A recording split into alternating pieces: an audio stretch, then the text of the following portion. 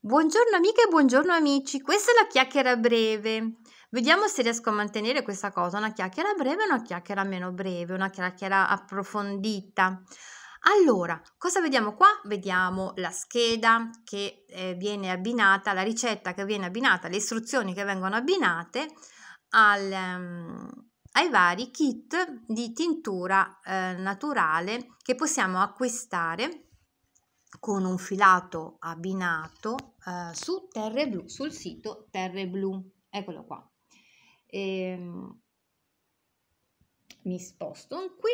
Questa mattina ho chiacchierato nella chiacchiera lunga di tante cose, ho chiacchierato di tintura, ho chiacchierato di filature, di, di tipi di torsione, insomma ho chiacchierato un po' e l'argomento, ecco, diciamo la, la presentazione, l'inizio di queste chiacchiere con uh, i prodotti uh, che ho scelto dalla proposta Terre Blu, filati predisposti per la tintura, eccolo qua, abbiamo il lino. Questa è una matassa di lino naturale predisposto alla tintura naturale e non eh, utilizzate altre tre tecniche, seguite eh, la vostra esperienza, seguite le vostre ricette, utilizzate i vostri coloranti.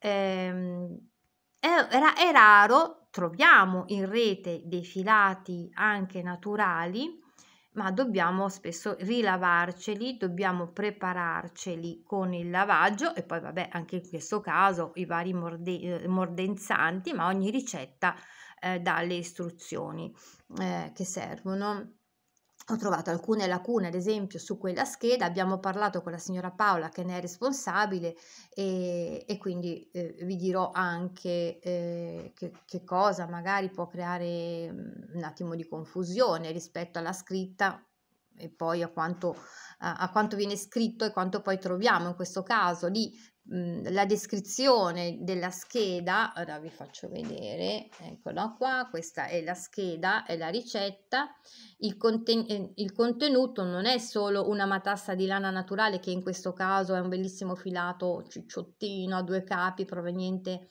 dalla, dall'Argentina, dal sud dell'Argentina, eh, non c'è solo la bustina di indaco, ma ci sono anche mhmm, le altre due sostanze necessarie a questo tentativo per quel che mi riguarda, perché ho tanto è che non tingo, poi l'ho fatto secoli fa, eh, tintura botanica a casa l'ho fatta solo poi con robbia e cocciniglia.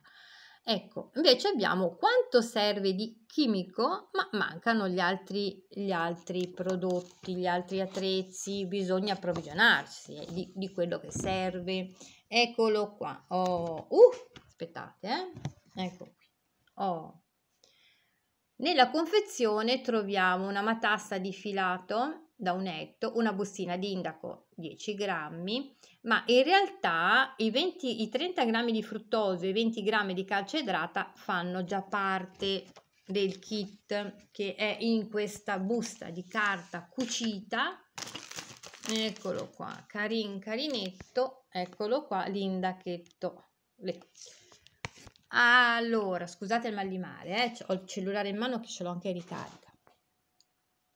Ho chiesto un'informazione anche come va smaltita questa cosa, il residuo della tintura. Ah, la signora ha detto aiuto, quando abbiamo preparato le schede, le normative erano diverse, mi sapranno dire se bisogna eh, eseguire uno smaltimento particolare o meno. Magari nella mail mi è già arrivata l'indicazione. Eh.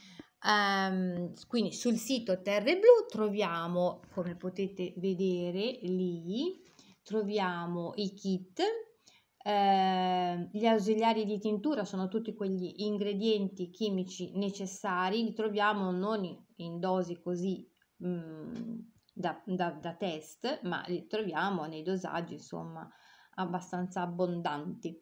E, ehm, c'è un bel manuale che non vedo l'ora di acquistarmi, me lo sto scordando, e, e abbiamo varie nozioni, abbiamo filati lana per tintura e lino e cotone per tintura predisposti già in matasse legate in tre punti se volete essere più sicuri legatela in quattro la matassa lasca ma sicura l'asca perché la legatura può lasciare dei segni sulla matassa. Eh, andiamo a eseguire una tintura di serva nostro, eh, nostro malgrado. Ecco, ho scelto il lino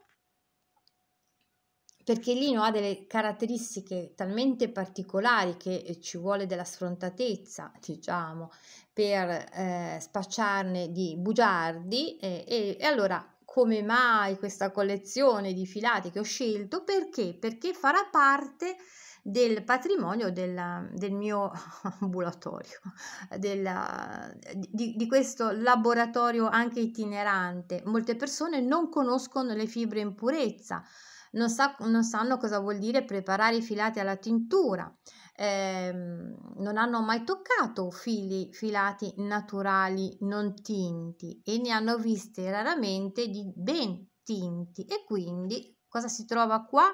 Abbiamo sia i filati tinti magistralmente, un assaggio, eh, un po' di matasse, non ce, l'ho, non ce l'ho provenienti da tutti i laboratori meravigliosi del mondo, ho anche alcuni prodotti tinti male, eh, tinti male, rovinati con eh, botte di calore, perché bisogna conoscerli e poi nella, nella chiacchiera lunga do alcuni consigli riguardo al riguardo.